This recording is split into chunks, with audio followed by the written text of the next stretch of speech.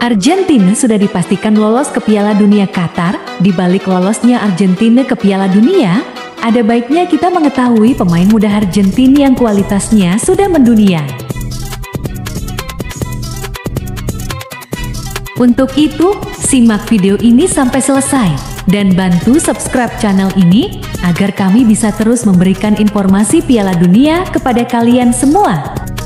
Salah satu nama dari Wonderkid yang diikutsertakan Argentina di Piala Dunia 2022 nanti memiliki potensi dan skill bermain yang membuat Lionel Messi kepincut untuk bermain satu klub dengannya. Lalu siapa saja Wonderkid yang akan tampil bersama Argentina di Piala Dunia 2020 mendatang?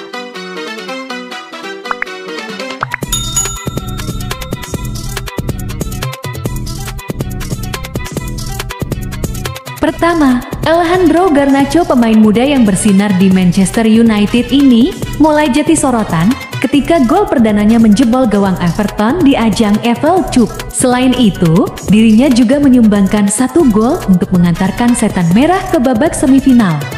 Berkat prestasinya yang gemilang, dia dipanggil pelatih Argentin untuk ikut bergabung bersama timnas senior Argentina di kualifikasi Piala Dunia kemarin.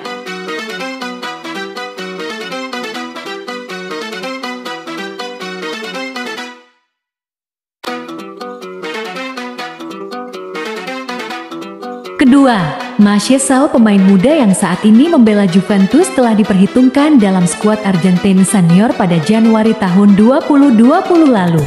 Dia telah bersinar bersama klub berjuluk Nyonya Tua pada musim 2020 per 2021 lalu atas gol perdananya di U23 Serie C.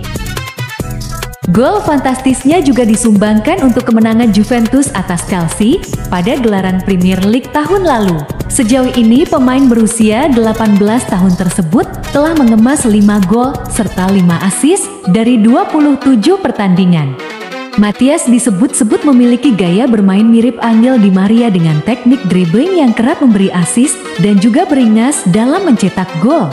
Namun kegemarannya bermain di area kanan lapangan lebih mirip disebut seperti Lionel Messi yang membuka ruang dan pandai dalam tendangan bebas. Dipanggil pelatih Scaloni pada November lalu, Wonderkid ini juga kembali dimainkan pada Maret tahun 2022 lalu untuk bergabung dengan Argentina di babak kualifikasi, kemungkinan besar Matias masuk timnas Argentina untuk Piala Dunia Qatar nantinya.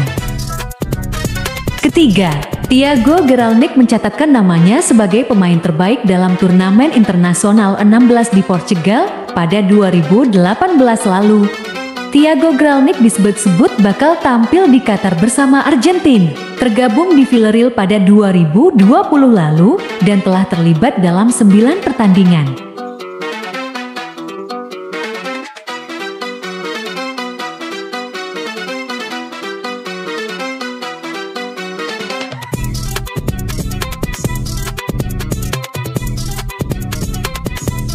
Keempat, Luka Romero, pemain muda yang telah mencatatkan namanya dalam sejarah La Liga Spanyol sebagai pemain termuda yang terlibat di dalamnya.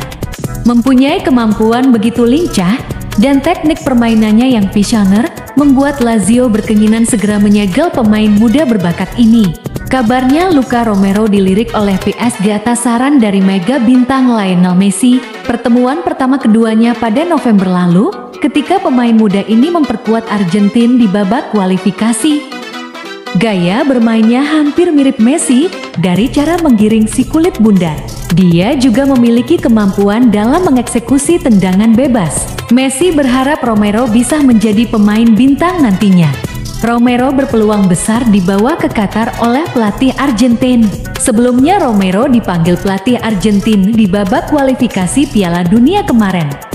Semoga empat wonderkid Argentina ini dapat memberikan kontribusi yang positif untuk timnas Argentina di Piala Dunia Qatar nantinya. Terima kasih sudah berkunjung di channel ini. Berita bola yang kami sajikan ini diambil dari sumber terpercaya. Bantu subscribe channel ini agar kami selalu ada untuk kalian semua para bola mania.